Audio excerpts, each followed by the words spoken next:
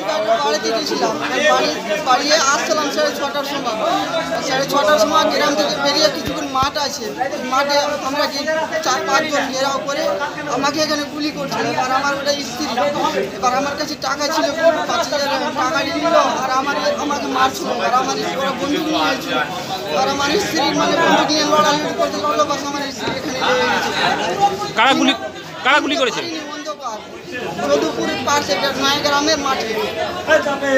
আপনার নাম কি?